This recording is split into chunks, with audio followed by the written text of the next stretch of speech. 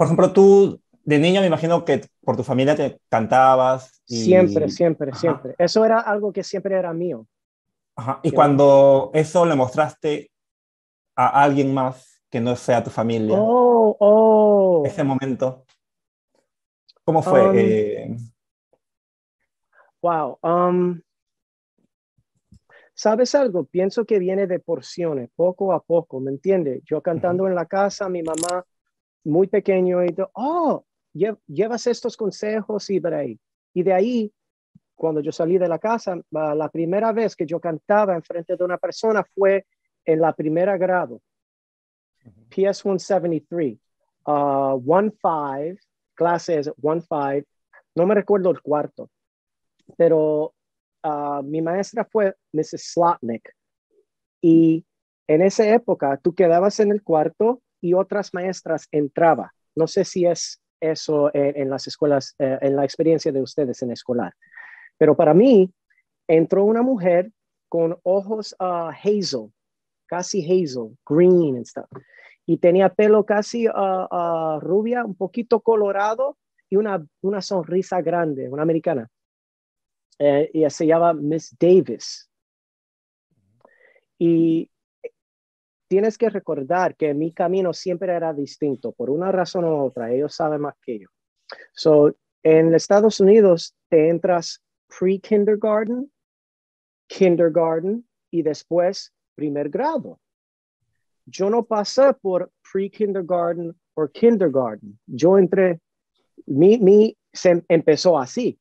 So, yo estaba, tuve que aprender todas las cosas en un tiempo, pero música siempre era, Dios quería que eso es para mí, ¿me entiendes? So, Miss Davis, ella entra, ella está enfrente de la clase, ella no conoce ninguna de nosotros, pero ella empezó el, la lección, se puso la mano así, y yo estoy viendo, you y ella empezó a cantar, Hello everybody, yes indeed, yes indeed, yes indeed. Let's make music. Yes, indeed. Yes, indeed, my darling. Y entonces ella, eso fue su introducción. Yo, yo hago música. So ella cantaba para nosotros. Y entonces ella fue y quería que otras personas párate y dice su nombre solamente. Yo no entendí, ¿me entiendes? So, cuando ella decía eso, yo paré y yo cantaba nota por nota, palabra a palabra. Hello, everybody, yes, indeed, yes, indeed, perdón, yes, indeed. Y parte del clase empezó de reír y ella eh, hizo esto. Imagínate, tú eres el punto de vista viendo mi cara, la cara mía es de ella. Y eso, no, don't laugh, don't laugh, stop, go ahead, go ahead. Y cuando yo terminé, después de, she went, wow, that's fantastic. What's your name? Esa fue la primera vez. Uh, yo puedo decir que en mi propio camino um, decidió por un impulso tan fuerte para cantar, pero en ese fue un error. ¿Me entiendes? Porque me equivoqué, pero también yo quería mostrar a alguien, yo puedo hacer eso, porque yo hacía eso con mi mamá. Mi mamá cantaba algo y lo, lo uh, repitió a ella.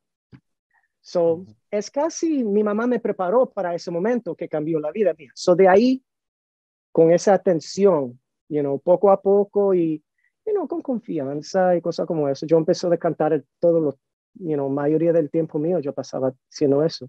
Lo que yo aprendí como niño, um, alguien puede quitar mi, mi, mi, juguete, alguien puede quitar, o si yo estoy caminando con un, you know, yo creo que estaba siendo en, eso fue en Washington Heights, eso no fue en Harlem, pero cualquier de los lugares, si alguien te roba su, su, su dulce o algo como eso, cuando yo canto, eso es mío, ¿me entiendes? Eso es para mí solamente.